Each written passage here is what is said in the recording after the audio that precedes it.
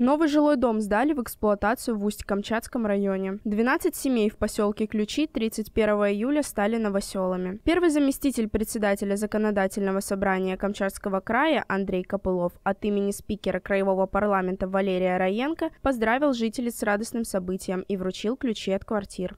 Я искренне рад за э, это мероприятие, которое сегодня проходит, это новое жилье.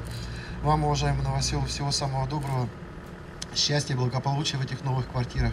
Ну и, конечно же, а, Александр Витальевич перечислил слова благодарности и правительству Камчатского края, и районным властям, и законодательному собранию Камчатского края. Ну, особые слова благодарности я, конечно, хотел бы выразить строителям. К сожалению, чуть не вижу никого. Я видел, тут вроде прораб был.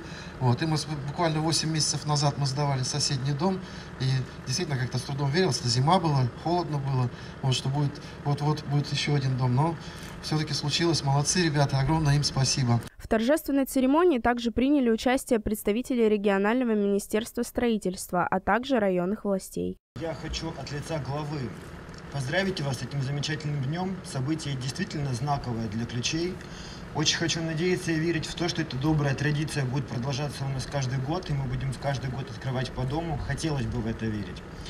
Поэтому буду краток. Желаю вам на новом месте всего самого доброго, успехов, и чтобы все у вас было хорошо на новом месте. Потому что новое – это всегда здорово, особенно связанное с новосельем. Очень приятно, когда вводится какой-нибудь объект строителями. Вдвойне приятнее – что этот объект является жилым домом.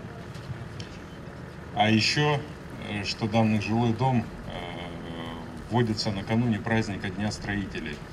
Вот и хочу их поздравить с наступающим праздником.